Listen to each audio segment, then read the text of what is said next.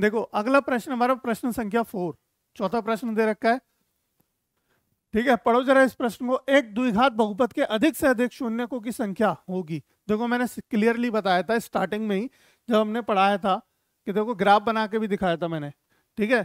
तो अगर मेरे पास एक लीनियर रैखिक, एक रैखिक बहुपद होगा तो उसका एक ही शून्यक होगा, यानी एक ही शून्यक निकलेगा एक। शून्यक की संख्या ये जो यहाँ लिखा हुआ है, ये क्या है? शून्यक। ठीक है, कितना होगा? एक। यहाँ पे कितने शून्य होंगे? दो। ठीक है, यहाँ कितने शून्य के दो। देखो, यहाँ पे दो जगह टच कर रहा है एक्स पर। एक्स पर दो जगह प्रतिच्छेद कर रहा है ये, और यहाँ पे एक जगह प्रतिच्छेद कर रहा है, और यहाँ पे तीन जगह कर रहा है। तो ये कैसा है? द्विघात। ये द्विघात बहुपद है, द्विघात क्वाड्रेटिक ठीक है?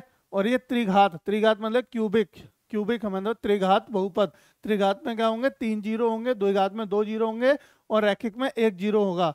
तो हमारा प्रश्न क्या है? चौथा, हमारा प्रश्न पूछ रहा है कि द्विघात बहुपद के अधिक से अधिक कितने शून्यक होंगे? तो कितने होंगे बेटा? दो शून्यक होंगे। क्लियर है ये बात? है ना? जितनी घात, उतने शून्यक।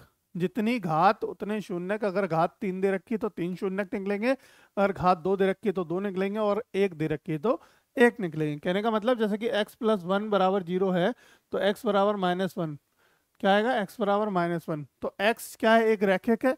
रैखिक बहुपद है। तो रैखिक बहुपद में क्या होगा? एक ही शून्यक निकलेगा उसका। क्या निकलेगा? एक ही शून्यक।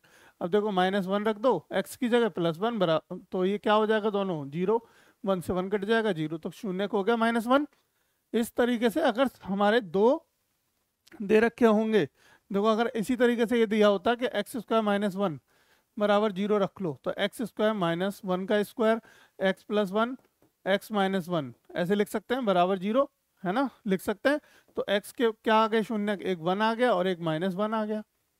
एक वन आ गया और एक माइनस वन आ गया, है ना बेटा? तो ये शून्य आ गए दो। तो इस तरीके से शून्य हम चेक कर लेते हैं, यानी घात जितनी दे रखी होगी, दो घात दे रखी है तो दो शून्य होंगे, तीन घात दे रखे तीन शून्य होंगे। Answer clear